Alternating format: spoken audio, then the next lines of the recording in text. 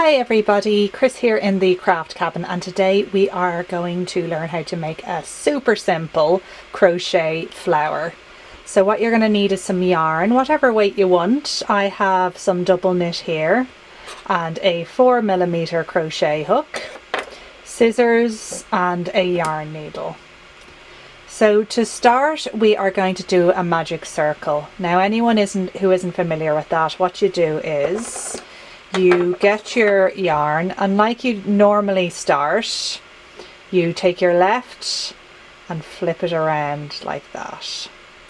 So that your this the long piece is coming up and around and then back down and behind. We leave it like that. We're going to make it a little bit smaller. And you're going to hold on to this piece here as you crochet your long tail goes through your fingers however you usually do it. So we are going to put our yarn, hook through our yarn and grab it there and pull it back. So now I'm going to move my fingers up and I'm going to hold this piece here like that and we're going to start with 10 chain. Three, four, five, Now as you go you'll probably have to let go uh, of your loop here. So just remember the double strand is on your left and should always stay on your left and the single strand is on your right.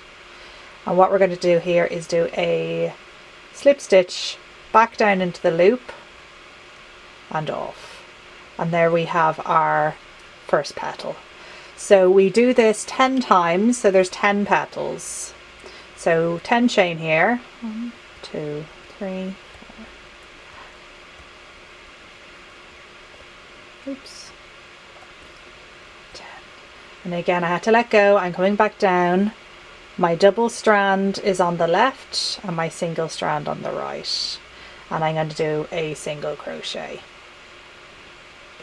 Sorry, slip stitch. Back down into it.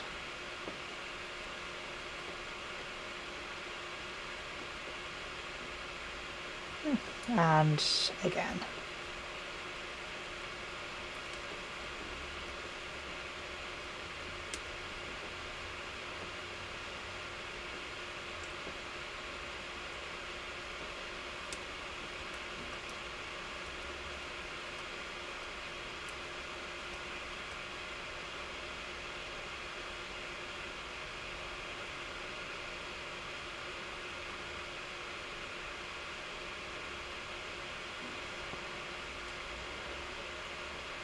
As you go. I just pull the petals a little bit to one side and it still gives me plenty of room to work with.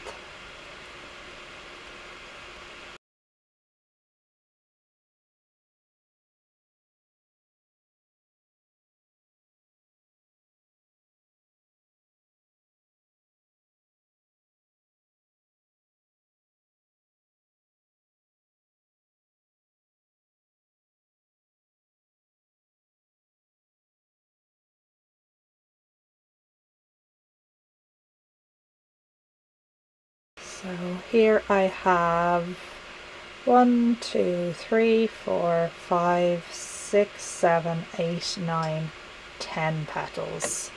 So it's going to be loose and baggy and strange looking and I'm just going to finish that off and cut my yarn leaving again a little bit of a long tail and a sharper scissors.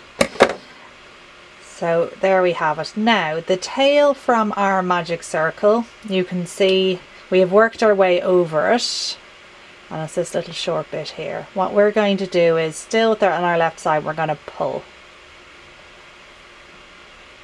Yeah. And that closes the circle. They're also great for doing your granny squares if you don't want a hole in the middle and they can be a little bit easier to work into than doing your um, four chain or five chain and joining. It just gives you a little bit more room to breathe. So just neaten out all your, your petals and we're going to turn to the back here and I'm just going to tie my two strands together. You can sew this onto something or you can put a brooch on the back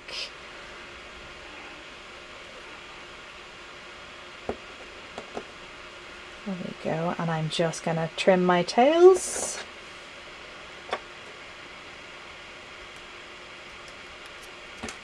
Ah. And if you want as well, you can do a chunky flower and it ends up slightly bigger than this one. And you can layer them up and you can add buttons or embellishments or anything into the middle like I've done with this one here. So, and this will layered up. Very pretty. Thank you so much. I hope you enjoyed today's tutorial and I hope you have fun making these too. Bye.